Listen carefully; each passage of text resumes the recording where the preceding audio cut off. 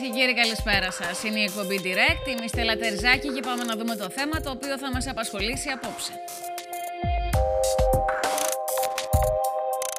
Άγνοια, σύγχυση και προβληματισμός για το μεγάλο στίχημα του ελληνικού κτηματολογίου. Ακόμη και σε περιοχές που οι προθεσμίες εκπνέουν, το ενδιαφέρον παραμένει σε ιδιαίτερα χαμηλά επίπεδα. Ποια τα προβλήματα που προκύπτουν κατά τη διαδικασία; Ποιες οι παγίδες και τα κόκκινα σημεία που θα πρέπει να προσέξουν οι ιδιοκτήτες, ποια τα κενά και οι επισημάνσεις των ειδικών προκειμένου να αποφύγουν την ταλαιπωρία και κυρίως τις αρνητικές επιπτώσεις στο προσεχές μέλλον οι ιδιοκτήτες ακινήτων, ποιοι και κάτω από ποιο καθεστώς κινδυνεύουν να χάσουν τις περιουσίες τους; Πως η διάγνωστη παραμένει τύχη περίπου 15.000 ακινήτων που θεωρούνται ορφανά καθώς δεν δηλώθηκαν και άρα με βάση των όσων προβλέπονται σε αυτή τουλάχιστον τη φάση θα περάσουν στα χέρια του ελληνικού δημοσίου. Τι ισχύει για τα αγροτεμάχια που δεν έχουν τίτλους ιδιοκτησίας. Τι για άλλες κατηγορίες ακινήτων. Ποιες οι κατευθυντήριες οδηγίες που δίνουν οι ειδικοί στους πολίτες, καλώντας τους να μην γυρνούν την πλάτη και ούτε να αντιμετωπίζουν με επιπολαιότητα τη διαδικασία της κτηματογράφησης. Σε ποια φάση βρίσκεται η Κρήτη, ποιες οι τυχόν ιδιαιτερότητες. Απόψε κοντά μας. Ειρήνη Βρέντζου, Πρόεδρος Τεχνικού Επιμελητηρίου, Τμήματος Ανατολικής Κρήτης.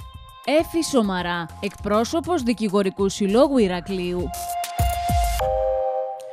Καλησπέρα σας. Καλώς ήλθατε στην Κρήτη TV και στην εκπομπή Direct. Πήραμε μία γεύση στο βίντεο που προηγήθηκε από τις πολλές ερωτήσεις που οι ίδιοι οι πολίτες θέτουν σε μία διαδικασία που λίγο ή πολύ μάλλον αφορά τους περισσότερους. Οπότε είναι μία κρίσιμη στιγμή για να επιχειρήσουμε να δώσουμε κάποιες απαντήσεις, να επιχειρήσουμε με πολύ απλά λόγια, αυτός είναι ο σκοπός μας απόψε, να δώσουμε τα βήματα και τις κατευθυντήριες γραμμές για το τι ακολουθεί ή τι βρίσκεται ήδη σε εξέλιξη σε επίπεδο Κρήτη.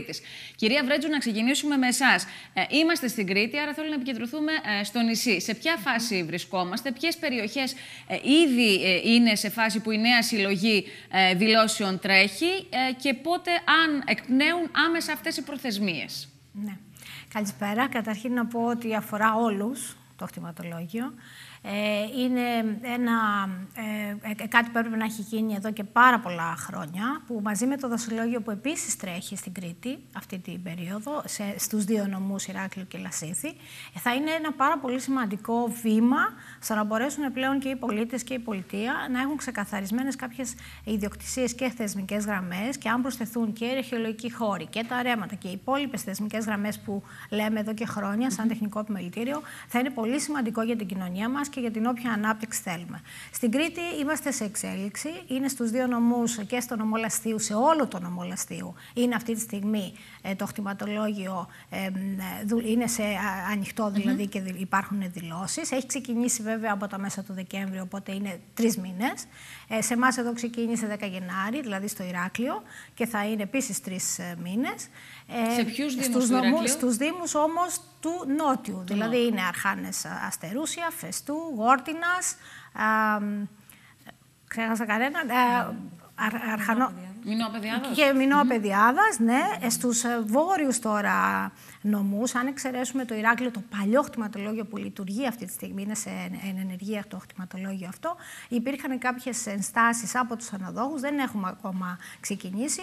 Όμως το επόμενο διάστημα, όπως μας λένε οι πληροφορίες μας, δηλαδή στο επόμενο χρονικό διάστημα, θα το έχουμε και αυτό. Οπότε θα είμαστε σε μια πλήρη εξέλιξη σε επίπεδο Ανατολικής Κρήτης. Έχετε εικόνα σε ό,τι αφορά την συμμετοχή του κόσμου στους Δήμους αυτούς που τρέχει η διαδικασία; Είναι χαμηλή γενικά. Αυτή ήταν η εικόνα που είχαμε πριν λίγο διάστημα. Δεν ξέρω αν και ε, υπάρχει κάτι καλύτερο. Πάντως δεν είναι η αναμενόμενη. Δηλαδή θα πρέπει να α, καταλάβουν όλοι, όλοι οι πολίτες ότι τους αφορά, το σύνολο των πολιτών αφορά. Είναι μια ε, ενιαία καταγραφή τεχνικών και νομικών πληροφοριών της ιδιοκτησίας του κάθε κτήματος πια. Δηλαδή, έχουμε περάσει από εκεί που είχαμε τα υποθηκοφυλάκια. Θα τα πούμε όλα στη συνέχεια, ναι, γιατί υπάρχει μια πλήρη σύγχυση είναι... για το ποιους αφορά τελικά. Όλου. Είναι υποχρεωτική η δήλωση και το λέμε και από εδώ, ότι πρέπει όλοι να δηλώσουν τις ιδιοκτησίες mm τους. Είναι ο μόνος τρόπος για να τις διασφαλίσουν. Κυρία Σομαράκη, ο Δικηγορικός Σύλλογος Ηρακλείου έχει τοποθετηθεί, έχει κάνει έκκληση και κάλεσμα προς τους πολίτες να μην περάσουν, να μην λάβουν αψήφιστα όλη αυτή τη διαδικασία. Μια διαδικασία που δεν μας είναι καινούργια. Ουσιαστικά έχει μπει στη ζωή μας από το 2008. Ωστόσο, υπήρξαν καθυστερήσεις, παρατάσεις, ματαιώσεις ε, και όλο αυτό το σκηνικό, το οποίο μάλλον έχει οδηγήσει στον πολίτη στο συμπέρασμα ότι είναι κάτι που για μια ακόμη φορά θα λάβει μια παράταση, άρα δεν χρειάζεται να τρέξει. Να τρέξω. Ωραία. Να ξεκαθαρίσουμε λοιπόν ότι οι πολίτες πρέπει να τρέξουν και πρέπει να προλάβουν να δηλώσουν τα ακίνητά τους. Η προθεσμία, όπως ε, είπε και η κυρία Βρέτζου, είναι από 10 Ιανουαρίου μέχρι 10 Απριλίου.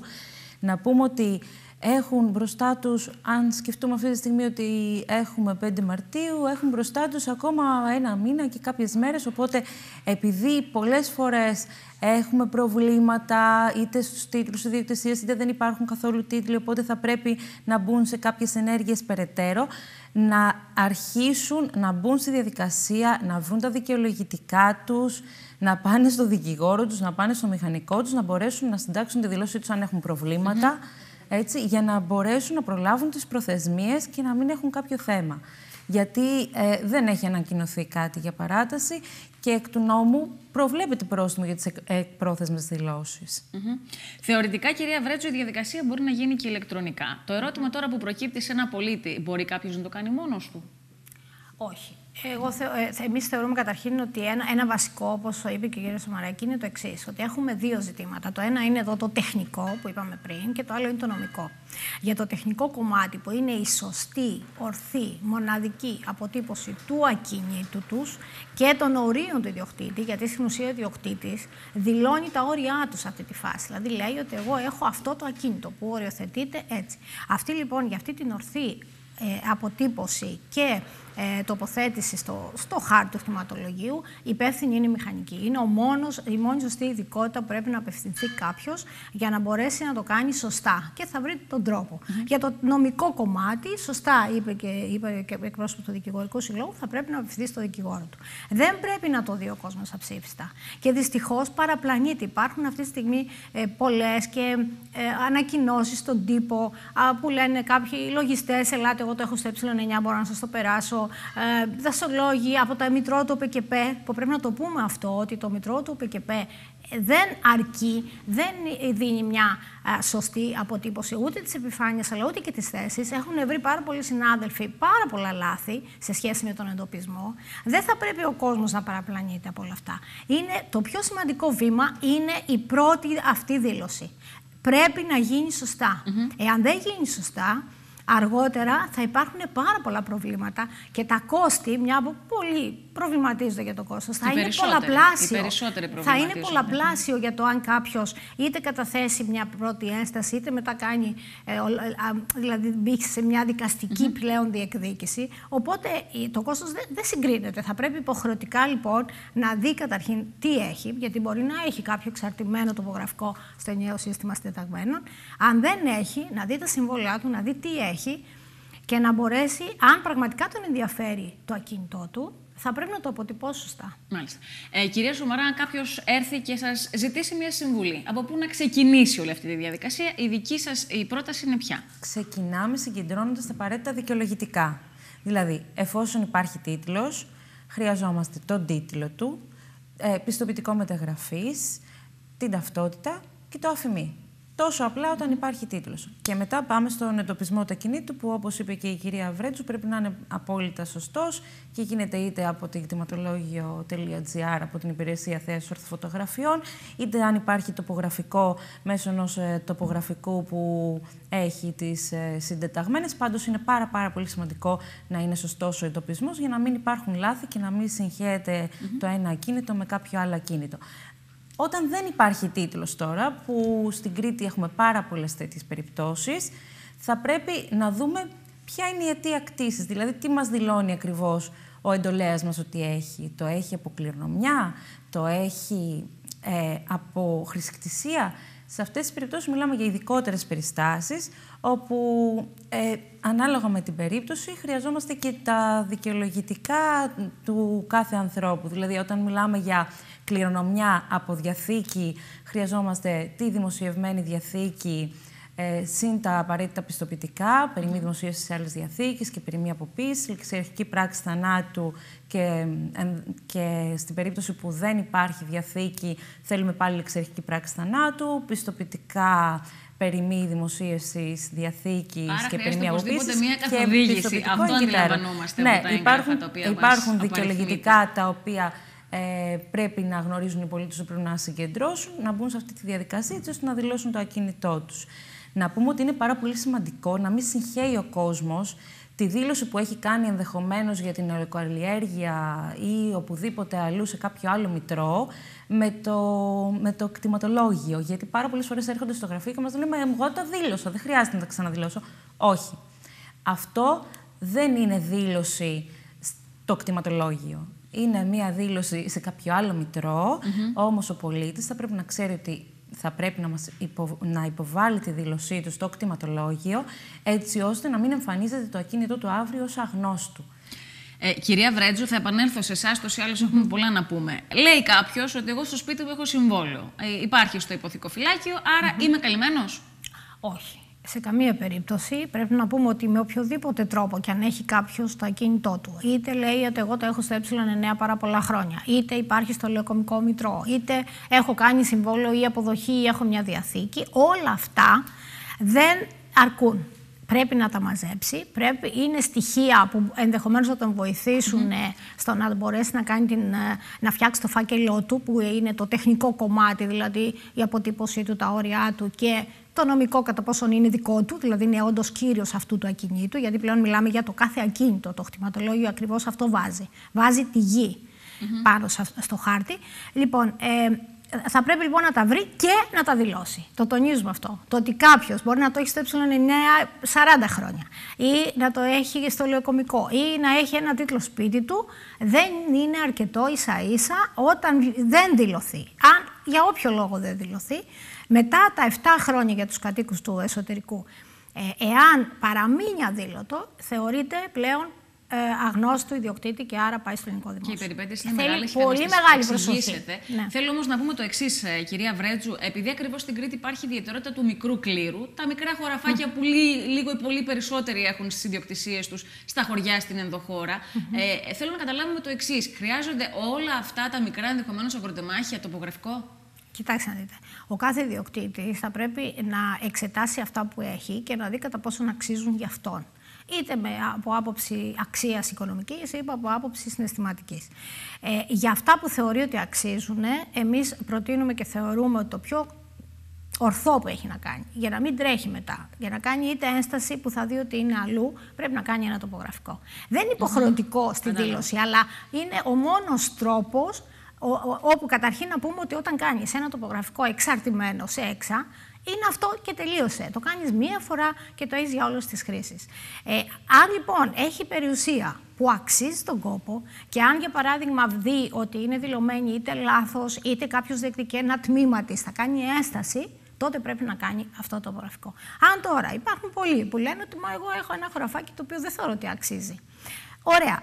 Ακόμα, μπορούν να κάνουν, καταρχήν εμείς λέμε, να κάνουν μια συνεννόηση με το μηχανικό τους. Υπάρχουν λύσεις και μπορούν να προσδιοριστούν τα όρια και να μην κάνει ακριβώς το τοπογραφικό. Θα βρει λύση με το μηχανικό του. Θα βρει λύση να κάνει μόνο την αποτύπωση των ορίων του. Υπάρχουν λύσεις. Θα πρέπει να απευθυνθεί στον ειδικό. Που ήδη υπάρχει, θα, θα πρέπει να απευθυνθεί στο μηχανικό του. Ναι. Να ξέρουν όμως όσοι θεωρούν ότι εμένα δεν με νοιάζει και ας το χάσω αυτό ή ας το πάρω κάπου αλλού, ότι αυτό θα συμβεί. Δηλαδή, μπορεί κάποιος να πάει και να το δηλώσει είτε από το μητρό που έχει, είτε τυχαία.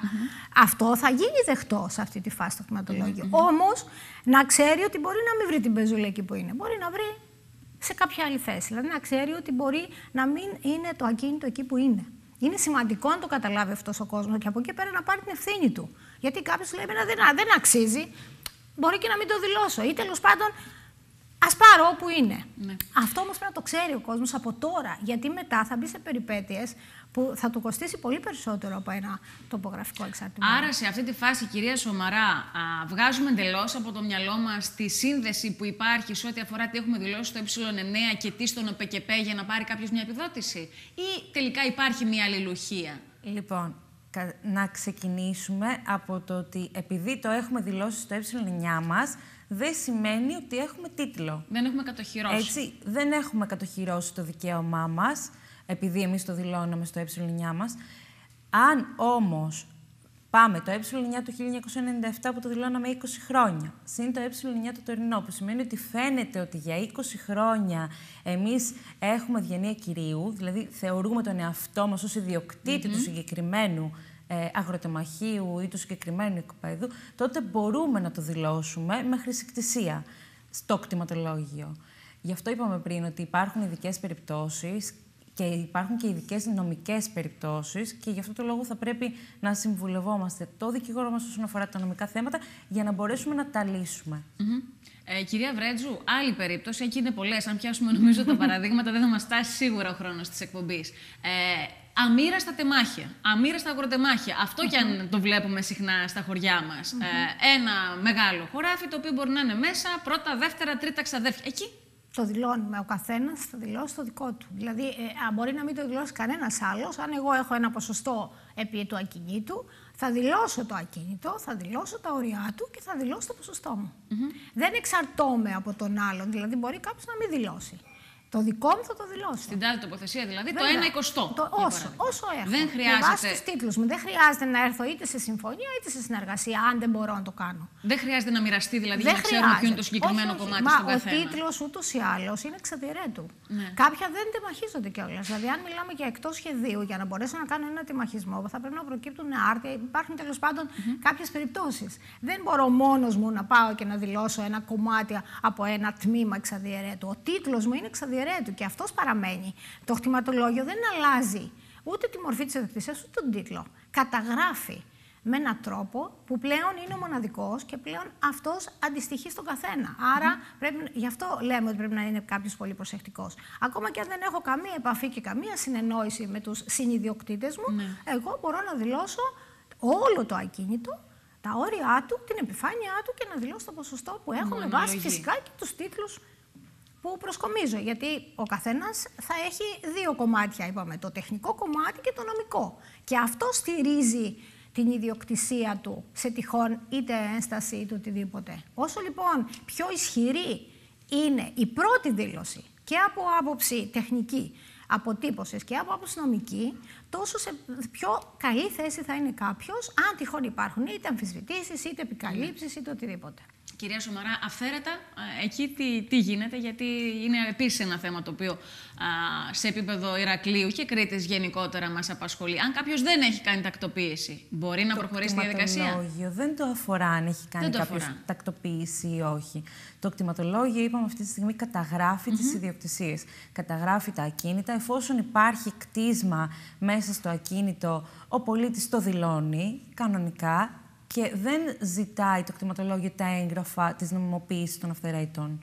Είναι λοιπόν κάτι το οποίο δεν ε, εμπλέκεται καθόλου στη διαδικασία αυτή. Γιατί ο κόσμος Κα... επίσης έχει μια σύγχυση πάνω σε καθόλου. αυτό. Αν μπορεί ή όχι Δηλών, να προχωρήσει. Δηλώνουν οι πολίτες τα κτίσματα που υφίστανται ήδη στα κινητά του. ε, είτε πρόκειται για αγροτεμάχια, είτε πρόκειται για οικόπεδα, είπαμε. Δηλαδή, αν έχουμε ένα σπίτι στο χωριό και μία αποθήκη, τη δηλώνουμε κανονικά. Δεν έχει σημασία ότι δεν έχουμε προβεί σε τακτοποίηση για Μάλιστα, το κατανοητό. Άλλη ερώτηση. Επειδή ακριβώς είναι μια διαδικασία που, όπως είπαμε στην αρχή, τη γνωρίζουμε, από το 2008 έχει μπει στη ζωή μας, ανεπιτυχώ μέχρι σήμερα. Α, αν κάποιος έχει ε, κάνει τη διαδικασία αυτή το προηγούμενο χρονικό διάστημα, τώρα πρέπει να κάνει επικύρωση; Δεν μπορεί να έχει κάνει. Γιατί άρχισε 10 Ιανουαρίου η κτηματογράφηση στους πέντε νομούς που είπαμε πριν. Να τους επαναλάβουμε αν θέλετε κιόλας. Είναι Αρχανών Αστερουσίων, είναι Γόρτινας, Φεστού, Μινώα Παιδιάδος και Βιάνου. Ξέρετε, εγώ θα το πω πολύ απλά, σας το είχα πει εξ αρχής, δεν είμαι γνώστης του θέματος. Ενδιαφέρον όμως έχει για όλους μας. Λένε κάποιοι, μα εγώ έχω κάνει εγγραφή στο κτηματολόγιο για τα κινητό μου. Αυτό τι είναι; Κάτι τελείω διαφορετικό; Όχι, έχει κάνει ενδεχομένως ε, για τον νομό Ηρακλείου στο Ηράκλειο το παλιό, Ναι. το πρώτο, το πριν τον Καλλικράτη, που είχε ξεκινήσει όντως το χτιματολόγιο Ωραία. και αυτή τη στιγμή είναι ε, εν ενεργεία ένα χτιματολογικό γραφείο. Με τα όποια προβλήματά του. Εκεί λοιπόν έχει δηλώσει όντως εκείνη την περιουσία του. που τώρα έχει πρέπει να σε κάνει και αυτό, κάτι άλλο που στη έχει διαδικασία. εκεί όμως, αυτά τα όρια, δηλαδή στα όρια του παλιού Ναι. Δήμου του Ηρακλείου.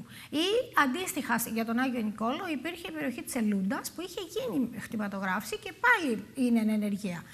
Όμως ό,τι έχει εκτός αυτών των ορίων, δηλαδή αν έχει μια περιουσία που δεν ανήκει στενά στο Δήμο Ηρακλείου ή στην περιοχη της Ελούντας, τότε είναι η πρώτη φορά που δηλώνεται τώρα. Άρα, κυρία Βρέτζο, αν εγώ έχω ένα σπίτι μέσα στην πόλη του Ηρακλείου και το έχω ε, δηλώσει στο κτηματολόγιο, αυτό ισχύει. Αν έχω όμως και ένα Βέβαια. χωριό, για, πα- σε ένα χωριό, α, δεν ξέρω, πού στα Νόγια. α, Στο- ε, θα πρέπει κάποια- να δηλωθεί στο χρηματολόγιο εκεί. Δε- Έχει να κάνει πια, φεύγει από τον Κατανοητό, ιδιοκτήτη. κατανοητό. Το υποθηκοφυλάκιο ήταν ε, μέχρι στιγμής ο κόσμος έχει συνηθίσει στο θεσμό του υποθηκοφυλάκιου, όπου ήταν με βάση το όνομα και τον ιδιοκτήτη. Δηλαδή, εγώ έχω 10-15 ακίνητα. Τώρα η αναφορά μας είναι στο κτήμα, είναι στο ακίνητο. Ναι. Δεν έχει να κάνει με τον ιδιοκτήτη. Ανοίγει λοιπόν αυτή τη στιγμή στον, Άγι- στο, σε όλο το Λασίθι και στους νο- νομούς του Ηρακλείου το χτιματολόγιο και άρα όποιος έχει κτήμα σε αυτούς τους νομούς πρέπει να πάει να το δηλώσει.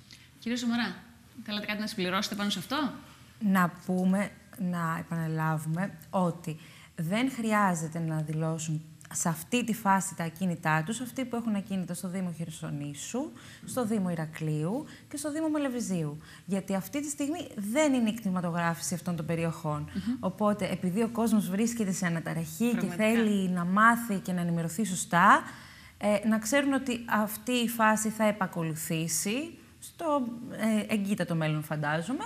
Βρίσκονται μ, σε εξέλιξη και αυτές οι διαδικασίες, αλλά δεν είναι αυτή η περίοδος που πρέπει να τρέξει. Ποιος είναι ο κίνδυνος που μπορεί να ανοίγεται σε κάποιον ιδιοκτήτη που δεν σπεύσει για να κάνει αυτό που πρέπει; Ωραία. Ε, θα έχει πολλαπλάσια διαδικασία μετά, γιατί αν το ακίνητό του εμφανίζεται στην ανάρτηση που θα γίνει ως αγνώστου, μετά θα πρέπει να προσεπικαλέσει το ελληνικό δημόσιο και όπως είπε και η κυρία Βέτζου, μετά από 7 χρόνια, αν δεν έχει μπει στη διαδικασία να το κάνει όλο αυτό, θα εμφανίζεται ως ε, κτήμα του ελληνικού δημοσίου πλέον. Ακούγεται σχεδόν εξωπραγματικό, κυρία Βρέτσο, αλλά Ναι, είναι θα συμβεί. έτσι, είναι έτσι όμως, είναι έτσι και γι' αυτό ε, πρέπει ανεξάρτητα από το όποιο κόστος, το είπαμε και στην αρχή, γιατί κο- έχει ένα παράβολο, είναι ανάλογα, δεν είναι δηλαδή αμεληταίο. Θα έπρεπε ενδεχομένως και να λέ- πούμε χωρίς κόστος. Όμως, αυτή τη στιγμή έτσι είναι. Η πολιτεία έχει βάλει ένα παράβολο γι' αυτό. Ε, όμως, ο κάθε ιδιοκτήτης πρέπει να βρει τον τρόπο και να δηλώσει την περιουσία του ορθά και σωστά. Γιατί δεν γίνεται. Δηλαδή, θα πρέπει να ολοκληρωθεί το χρηματολόγιο. Είναι ο μόνος τρόπος για να διασφαλίσει κάποιος το ακίνητό του. Και μετά θα μπει σε πολύ μεγάλες περιπέτειες. Πάρα πολύ μεγάλες. Ακόμα και αν δεν το κάνει σωστά και στη δεύτερη φάση, γιατί πρώτα θα κλείσει αυτή η φάση που θα γίνουν οι δηλώσεις και μετά θα γίνει μια πρώτη ανάρτηση, θα υπάρξουν τυχόν διορθώσεις απλές και πλέον πρέπει να πάει κάποιος δικαστικά. Όπου εκεί πια δεν συζητάμε για το αν κάνεις ένα εξαρτημένο τοπογραφικό. Συζητάμε για μια ευρύτερη αποτύπωση, συζητάμε για να ενημερωθούν όλοι οι ιδιοκτήτες με δικαστικό επιμελητή. Δηλαδή, μπαίνουμε σε τεράστια έξοδα και τεράστια δαπάνη. Δυστυχώς, πολλές φορές επειδή δεν- ξεκινάνε πράγματα και δεν γίνονται και επειδή το χρηματολόγιο το ακούμε πάρα πολλά χρόνια, ε, λίγο επαναπαυόμαστε. Δεν θα πρέπει να επαναπαυτούμε. Φαίνεται ότι το χρηματολόγιο θα γίνει, δηλαδή θα κλείσει, θα πάρθουν οι δηλώσεις, οι προθεσμίες τρέχουν. Α γίνει λοιπόν Άρα σωστά. πρέπει να γίνει σωστά. Α γίνει σωστά. Θέλω να σε ευχαριστήσω θερμά. Δεν έχουμε άλλο χρόνο. Νομίζω ότι είναι μια συζήτηση που θα ήθελε πολλές ώρες ανάλυση και συζήτησης για να στείλουμε τα μήνυματα. Ένα πρώτο βήμα, μάλλον το κάναμε. Να είστε καλά. Και εμείς Ευχαριστούμε ευχαριστούμε. πολύ. Κυρίες και κύριοι, κάπου εδώ φτάσαμε στο τέλος. Ευχαριστούμε που μείνατε κοντά μας. Καλό σας βράδυ. Ευχαριστώ.